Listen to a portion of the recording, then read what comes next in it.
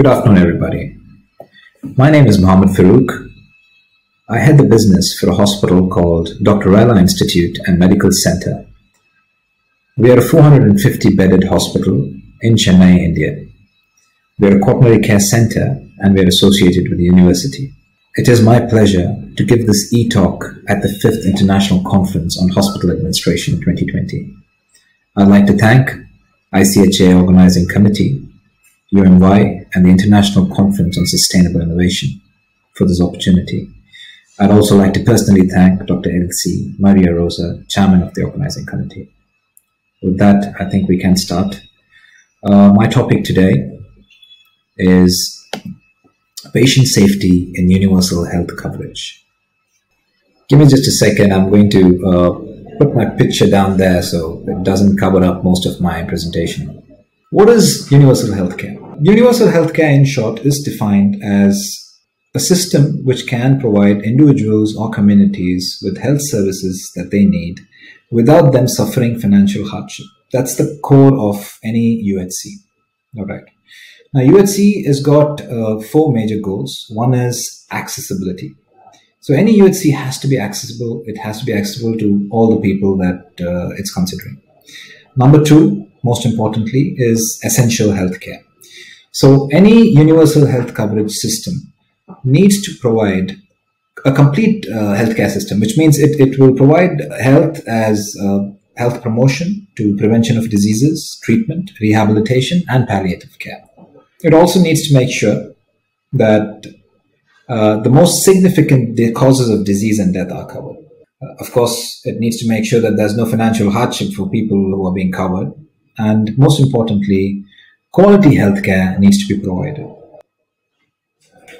Moving on to what is an effective uh, health coverage system. Now, before we go on to that, I want to uh, show you this uh, diagram that we have on the side here. This small cube here is given by WHO, and uh, this describes the dimensions that one has to consider when moving towards universal coverage. So uh, the small blue box within the cube shows the amount of uh, pool funds that are available for that particular universal healthcare system to use.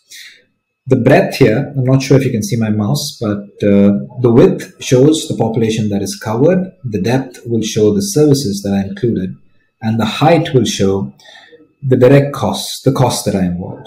Now, uh, each are dependent on each other. We can either extend the cover, we can include services or reduce services, and we can increase or reduce cost sharing and fees. Now, We'll come back to this particular chart, but this is something that you need to understand is the core of how a UHC would work. So moving on to what is effective coverage, the fraction of potential health gain that is actually delivered to the population through the health system, any health system that we're talking about. There are three major components in this, need, use, and quality. I believe quality plays the major role. All right. So the need is going to be uh, how many people need it, what kind of services are needed. The use is what services do we use, and of course the quality is the quality of care that is provided. That said, there are multiple ways to measure the effectiveness of care, and it can be measured based on the content, the use, but both of these might not always translate into optimal healthcare outcomes or impact of the population. I want to discuss why quality is the major agenda. In 2005, India implemented a conditional cash transfer program where women were paid to deliver babies in healthcare institutions. They wanted to make sure that the MMR, the maternal mortality rate of the country, got better and the deliveries happened in healthcare institutions. Uh, this uh, cash transfer program was called Janani Suraksha Yojana. Uh, there's a study by Bharat Randive et al., which showed that because of this particular scheme, the rate of delivery soared it, it went off the roof. However, there was no detectable effect in the country's MMR. This study also indicated that the high institutional birth proportion that JSY scheme achieved uh, was inadequate to improve the country's MMR. And they had to wait till the quality of care improved at these institutions, after which they actually uh, got to see a phenomenal drop in the country's MMR. I quickly want to talk about the IHI's triple aim. Uh, most of you must have seen this concept. Uh, the Institute of Healthcare Improvement believes that focusing on three critical objectives simultaneously will lead us to better models of care. So these three important uh, objectives are the population's health, try and improve the health of a defined population, enhance the patient experience by quality, reliability, and access, and reduce or at least cap the per cost, uh, the per capita cost. Now, uh, recent research has shown that there is one more step to it. I think my photo is uh, blocking that. It's called the clinical, uh, the clinician's experience. Uh, we have to try and reduce clinician and staff burnout. Doing this together with the Triple Aim will form the model of care that we are looking forward to. What is quality care? The Institute of Medicine in the US has identified six aims uh, for the improvement and to achieve the ideal healthcare system. All right. All these six aims are interdependent. Uh, the most important thing is to form a balance between them so we can use them efficiently. So let's just quickly discuss them one by one. Number one is safety. Care needs to be as safe for patients in healthcare facilities as in their homes. It needs to be effective. We have to match science uh, we can neither underuse or overuse the best available techniques. It has to be patient centered. Uh, the care needs to revolve around the patient. We have to try to include the patient in their own care. It needs to be timely. Uh, patients should not wait for their care, and there cannot be delays in terms of them getting medicine or care. Care needs to be efficient, both cost efficient and also waste reduction uh, efficient. And finally, it needs to be equitable. Of course, uh, disparities in care have to be eradicated and cannot be tolerated. All of this depends on team values, education, training, learning, and of course the environment. All right, let's discuss about patient safety. Uh, there are many definitions online about uh, patient safety. Uh, but when you actually look at uh, something that's simple, I think WHO and NHS came up with this uh, very short uh, definition, which I think is absolutely appropriate. So, patient safety is the avoidance of unintended or unexpected harm to people during the provision of healthcare. We'll also need to understand what an adverse event is. So, an adverse event is any event that results in unintended harm to the patient by an act of commission or omission rather than the underlying disease or the condition of the patient itself. So let's have a look at patient safety statistics. When you visit the WHO's website and try and go through the statistics they have for, for patient safety, it, it is shocking. A few pointers are here. Let's take a look. So, as per WHO, four out of up to four out of ten patients are harmed in primary and ambulatory care settings, and 80% of these errors are preventable. There are 134 million adverse events that occur each year in hospitals in low and middle income countries. And these contribute to 2.6 million deaths annually due to unsafe care. What's shocking is, uh, in low and middle income countries, most of the adverse events are actually not reported. So that number is uh, a scarier big number is what is worrying. Anyway, they've estimated an annual cost of 42 billion US dollars that goes on medication errors. Uh, to quickly go through, one would be that uh, adverse events, uh, unfortunately, is considered as one of the 10 leading causes of death and disability in the world. In high income countries, it is estimated that uh, 1 in 10 patients is harmed while receiving hospital care, and they believe that 50% of these are actually preventable. Uh, also, about two thirds of all adverse events resulting from unsafe care and all the years that are lost by patients due to disability or death, they are calculated as something that you say disability adjusted life years. That comes to about 23 million disability adjusted life years. And this is annually that they occur in low and middle income countries. Also in OECD countries, 15% of hospital activity and expenditure is a direct result of adverse events. That is pretty shocking.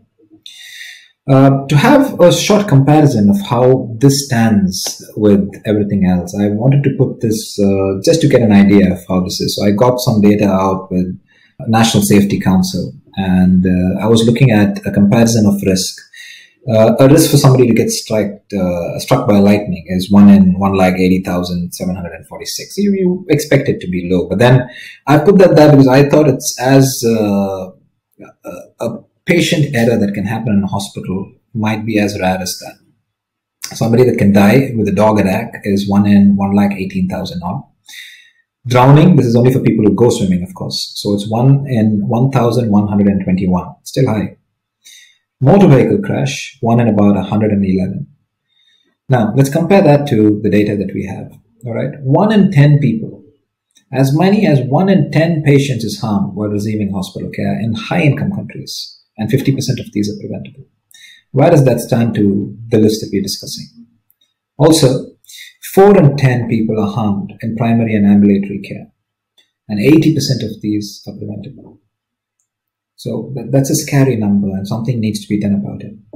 I quickly wanted to talk about this because when we're talking about errors, it's important to understand that there are three different types of errors.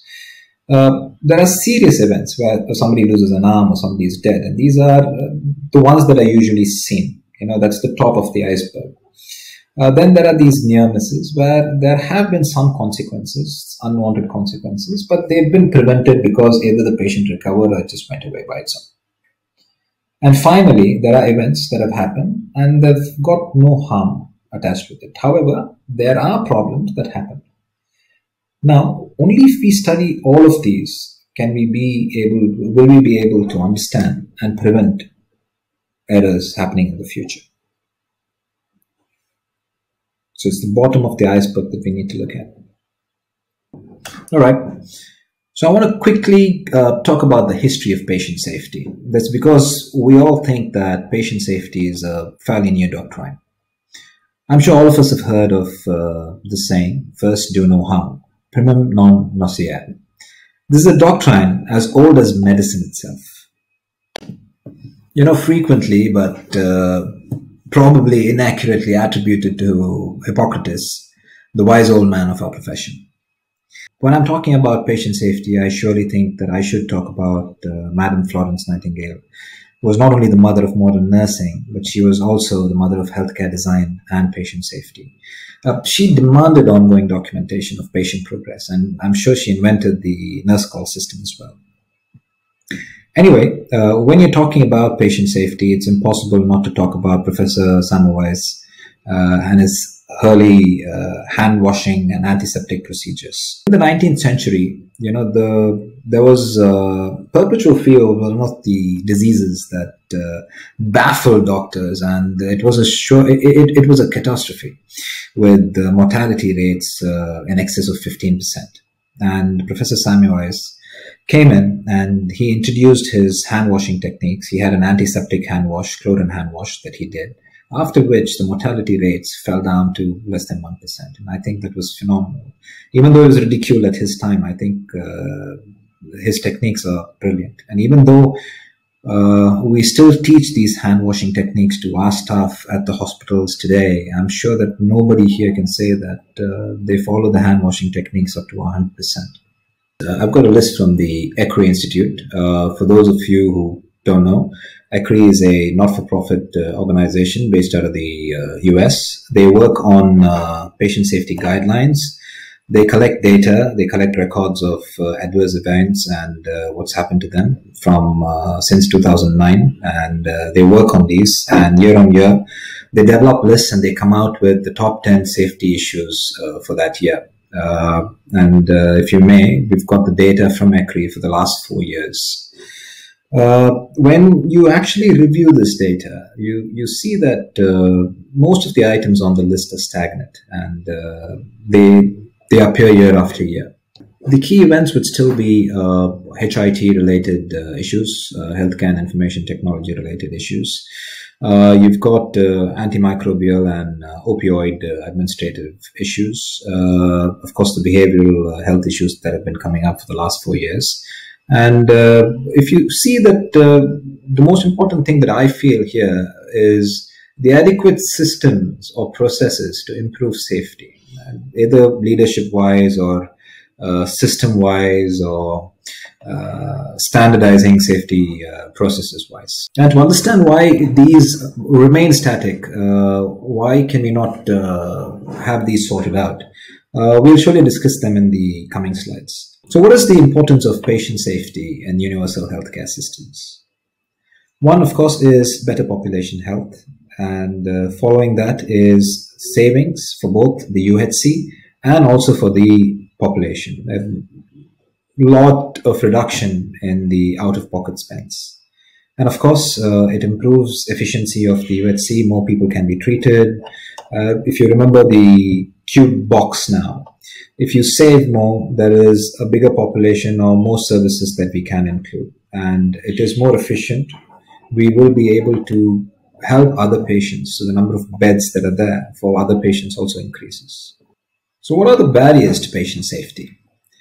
Uh, so Don Berwick, uh, during the 19th annual uh, National Patient Safety Foundation, uh, Patient Safety Congress, uh, during his keynote address, he gave seven roadblocks to improving patient safety. Let's quickly discuss them. They're very interesting. First uh, barrier is displacement by other concerns. Uh, what uh, Dr. Berwick says is that when you walk into any CEO's office or a boardroom, the discussions that are happening uh, are more around the subject of reimbursements and uh, workforce morale. Uh, safety is not top priority here. And even though there's a strong connection between safety and cost reduction, uh, we've still not reached that uh, conviction and it's not yet been established even uh, after 20 years. The second point is going to be the illusion of completeness. There's an illusion that we've worked on safety. Here are the things that we've done. There's been central line infections, there's been pressure ulcers, and here's what's happening on the medication. Uh, let's move on to the next problem. So when when uh, you treat it as a when you treat safety as a checkbox that can become very dangerous uh, at least it can, it can even be lethal to the patients of the future the third point he mentions is the incentive theory and uh, Dr. Berwick states that uh, until we become scientists and give up the incentive oriented approach to safety, we won't make a systemic progress that we've been calling on for years. Uh, the fourth point being the metrics glut. In pursuit of incentives, we've glutted ourselves with metrics. He says that uh, he feels that we are way beyond a level of toxicity and it's not just safety. We have to go on a diet, as uh, what Dr. Berwick states. Then we've got system literacy, where we have to become literate about the systemic properties and uh, process uh, improvement. The fifth point is separation of safety from quality. People need to understand that uh, safety and quality are not two separate things. Safety is one dimension of quality. And uh, when you're talking about safety and quality, it's like talking about fruits and bananas. The last point that Dr. Berwick mentioned is about academic attacks. It is unfortunate that uh, academic students position themselves outside safety movements, you know, and they become critics really we need to make sure that they join the, the, hospital brethren and make sure that they are part of the safety movement instead of positioning themselves as critics. Now we're going to discuss the possible solutions for patient care. Number one is advocate a policy instrument that contribute to patient safety. You have to develop a patient safety culture within the healthcare facility, establishing accreditation and regulation schemes, involving patients in their own care participation in patient safety research, and AI, using AI, or artificial intelligence, for better safety. Let's have a quick look at all of this. So the National Patient Safety Implementation Framework was introduced in India in 2019. So uh, what the NPSIF was going to look at are these points here. I'm going to quickly just read through them. This is safe surgical care and safe childbirth. That was one of the major priorities injection safety, blood safety, medication safety, medical device safety, safe organ tissue cell transportation and donation, biomedical waste management, prevention of nosocomial infections, and patient safety research. So, the NPSIF is a national institute, and uh, something needs to happen at the top, mainly at the government level, and it needs to use an approach which is bottom up. The strategic goals of NPSIF are as follows. They want to improve the structural systems to support the quality and efficiency of healthcare. And they want to do it not only at a national, but a subnational and even at a healthcare facility level. They want to scale the nature of adverse events in healthcare and they want a reporting system and learning from these errors. They also want to ensure a competent and capable workforce that is aware and sensitive to patient safety to prevent and control healthcare associated infections. They want to implement global patient safety campaigns, strengthening patient safety programs across the uh, healthcare industry. Finally, they want to strengthen capacity for and promote patient safety research. So the NPSIF in India, what they did was, uh, this is just an example. Uh, most of the countries have their own uh, progressions happening. So what are the provisions of NPSIF? The NPSIF uh, constitutes a national level steering committee as a central coordinating mechanism for safety. All right. They've integrated a web-based grievance system they also have a toll free helpline for patient safety. Uh, they've got an anonymous reporting system that can be used by healthcare workers. It can also be used by patients, their friends, families, etc. Uh, they've made sure to incorporate patient safety principles in the Public Health Act, um, in the Government Act by itself. And they've streamlined this in various insurance schemes as well.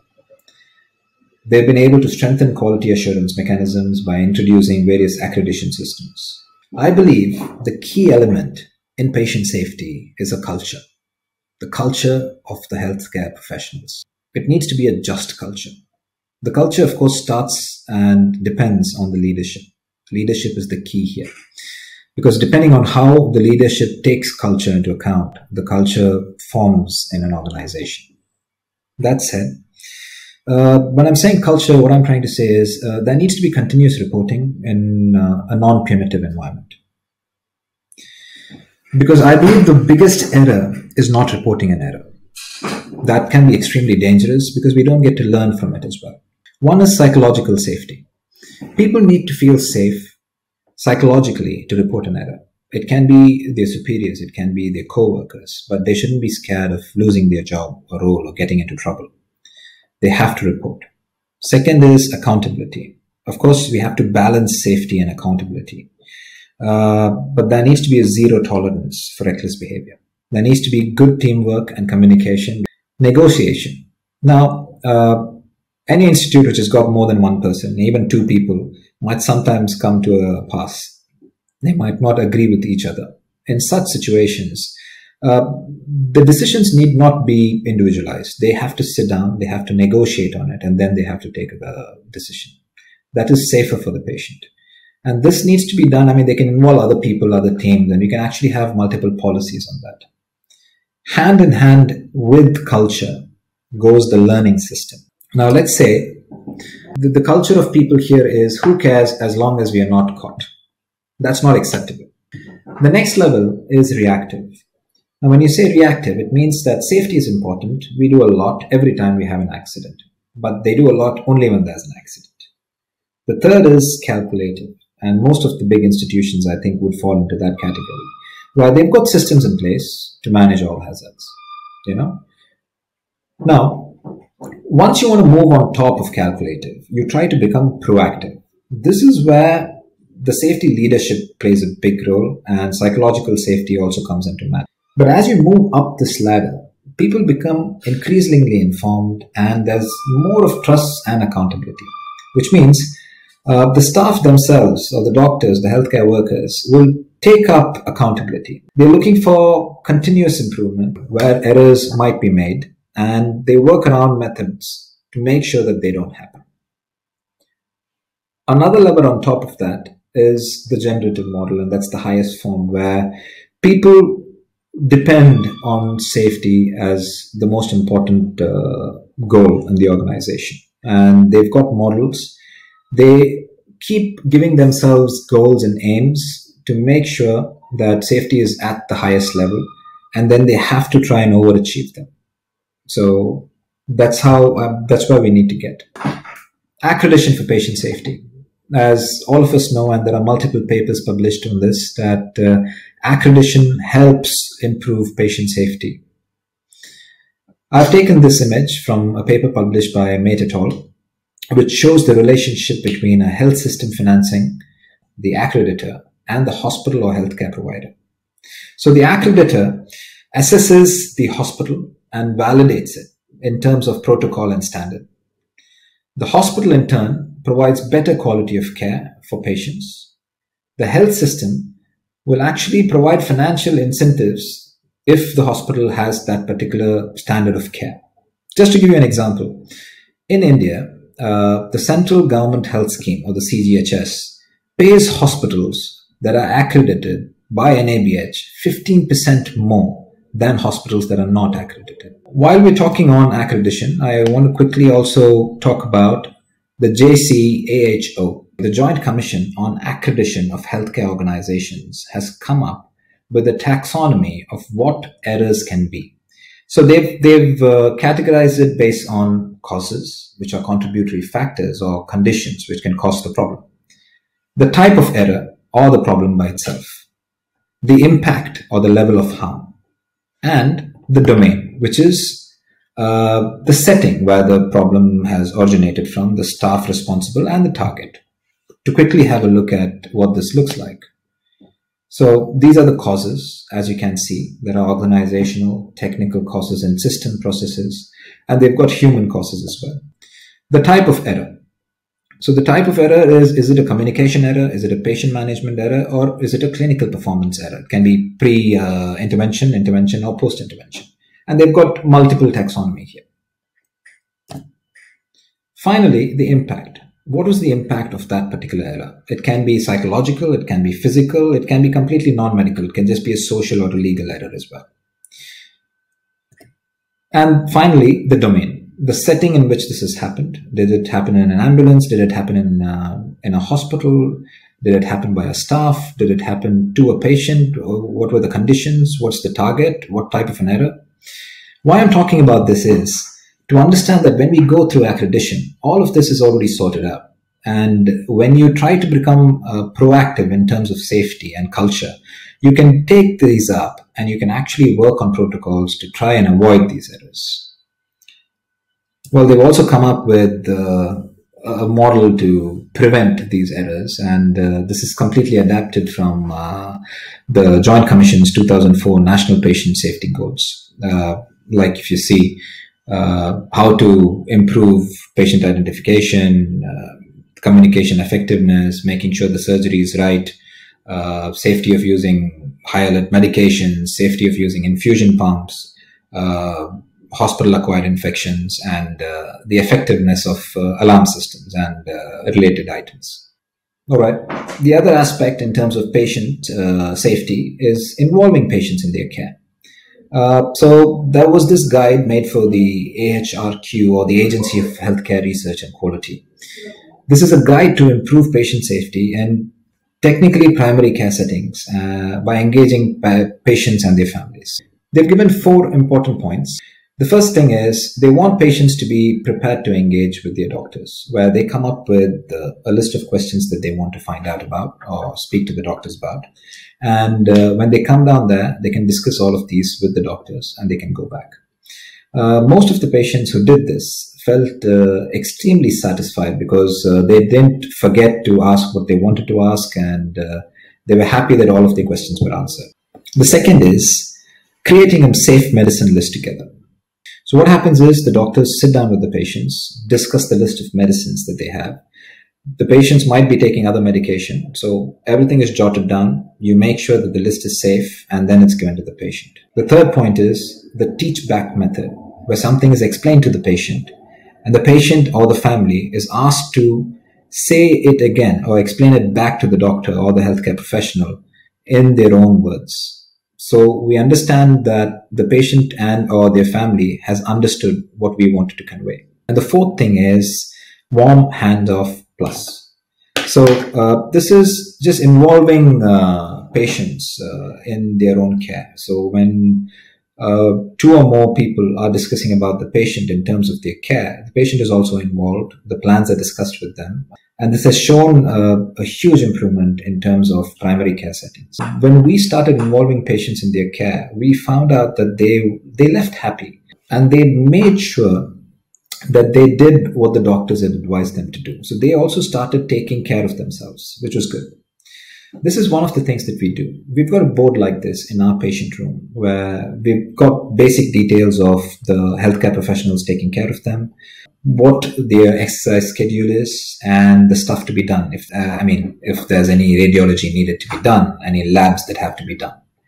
Finally, we give them a list of things that we want them to do. For example, in this, if you see, uh, we tell them that you need to make sure your tests are normal. You need to make sure that uh, the doctor has okayed your uh, result. So this also increases uh, collaboration, uh, more better communication from the patient with his doctor.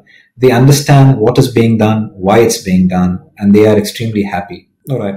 This is another paper by David Anthony et al., where he's given the taxonomy of errors at the time of a hospital's discharge multiple level where errors can actually happen. It's a beautiful paper. You can go through it actually. And he says that these errors can eventually lead to rehospitalization. And when you're looking at universal health coverage, uh, you don't want that to happen. Uh, let me give you an example. Let's say there's an old lady and uh, she's got diabetes and she's sick, but she's got nobody to take care of herself. So she lives by herself. She doesn't talk to anybody and uh, she gets sicker and she's admitted to the hospital. The hospital treats her. She's well. She's back home. But then it's a cycle. She gets sicker again and then she goes back to the hospital. She gets treated and she comes outside. But when you're looking at the system, it's actually not benefited her. You, the, the system has actually put in money to treat her, to make her better. But then, uh, because she's not taken care of herself, because there's no proper communication, multiple other reasons, there's no health gain for the system. Anyway, so this is another thing that we've done at a hospital. We've uh, formulated a discharge bundle. We call it discharge bundle. So before every discharge, there's a root cause analysis that's done. Why did the patient come here? What were the other issues associated with it? Has something before happened in case of readmission? What are the associated problems? Then there's patient education. So patient education with us is continuous process. Before they leave, they're educated about what has happened to them, what is expected of them, etc. Then there's a pharmacist review that happens. So a pharmacist sits with them, tells them, describes their medicines and everything to them. And once that is done, they also shown how these medicines have to be taken. Then there's an action plan for discharge. What needs to be done? Uh, uh once they're discharged, do they have to come back? What, what's the action plan? That's discussed with them. Once they've gone, within 72 hours, somebody from the hospital calls the primary care physician and gives them an update about the particular patient so that if they have to go back there, they know what's happened to the patient. We also do a follow-up phone call to the patient 72 hours from discharge. Sometimes when patients are getting discharged, they might not be able to give you that kind of time, or they might go home and they might forget a few things. So that is, uh, once we've done that, we've been surprised to see that uh, a lot of patients still had a lot of questions that had to be answered. So we, we follow this particular bundle. It's just a suggestion. So patient safety research. Uh, continuous education is extremely important. Uh, we need to make sure that there's a sound evidence for decision making. It once you start doing patient research, you understand what are the decisions you're taking, why you're doing it. You can actually monitor uh, the impact that you've caused because of your uh, interventions, and uh, this also helps in implementing changes and making sure how these changes have been implemented. Uh, WHO has given uh, a few topics here. This is for developing countries, countries in transition, and developed countries that they can do about. So these are some examples. There are multiple other projects. The government needs to be extremely supportive of these. The next solution for patient safety is artificial intelligence. Artificial intelligence is the new and thing, and uh, it's absolutely brilliant. Uh, we use some of these models and I'll discuss with you why I'm so excited about them. So uh, I'm sure most of you know that artificial intelligence is precise. It's been using uh, it's been used for diagnosis in terms of uh, radiological diagnosis. It goes through scans. It helps them to understand and diagnose disease better. They're also using AI and uh, AI associated microscopes uh, and pathology to diagnose diseases faster and better. There are a lot of AI uh, platforms and softwares for operational efficiency to better understand, better manage the patient flow, and to automate most of the processes. So predictive models uh, flag patients who are sick or who might get sick. It's it's uh, extremely nice. We are not fully using it at the moment, but we've seen a few samples and it's it's brilliant. You have to look at it. Uh, we've also got assisted procedures. We've got robots helping us do surgeries and endoscopies.